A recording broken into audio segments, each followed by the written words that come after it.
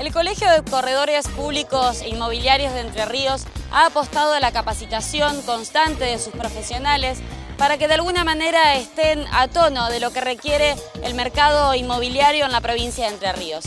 Es por eso que ya está abierta la inscripción para el próximo ciclo 2015 para la carrera de corredor público inmobiliario. Los protagonistas allí que llevan adelante esta tarea de capacitación nos comentaban muchísimos más detalles sobre esta propuesta.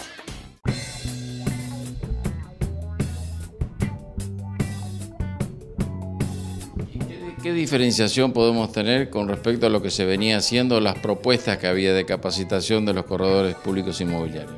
Bien, primero una aclaración. El colegio eh, tiene la obligación por ley de seguir matriculando y reconociendo el derecho de ejercicio profesional ¿sí? a todas aquellas personas que estudien en otras unidades académicas, en otros institutos, como corresponde.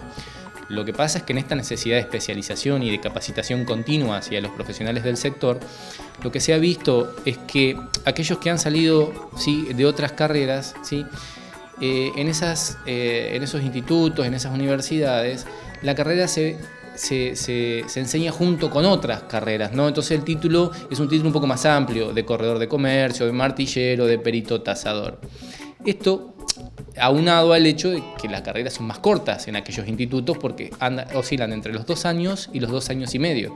Y como bien dijo Paula, acabamos de estar en los tres años nosotros. ¿sí?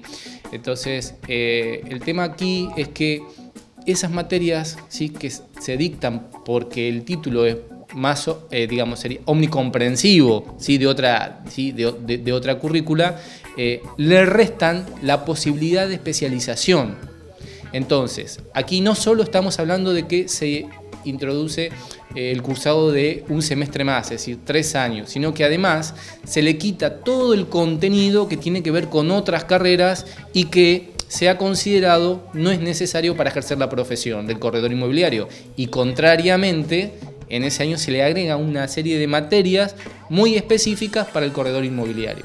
Los que estén interesados ya está abierta la inscripción a través de la página del Colegio de Corredores Públicos Inmobiliarios, pero ¿cuál es el límite de, de inscripción y el inicio de las clases para el ciclo 2015? Las clases inician en marzo del 2015 y tienen tiempo para inscribirse hasta el mes de enero.